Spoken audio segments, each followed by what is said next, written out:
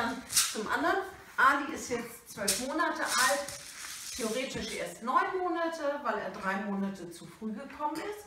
Und er wechselt jetzt hier schön im Stehen zwischen zwei Gegenständen. Das hatten wir letzte Woche schon mal.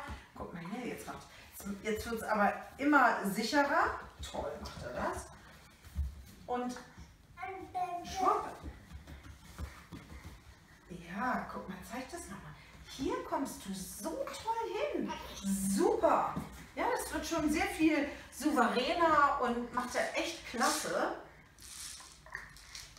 Super. Und da springt doch das Feuerwehrmännchen, die auch nochmal, ne? Guck mal hier. Hier ist sie. Ja. Nein, schön, wie er versucht, die Beine. Ah, ja, ach, da hast du dich toll durchgekämpft. Super. Klasse.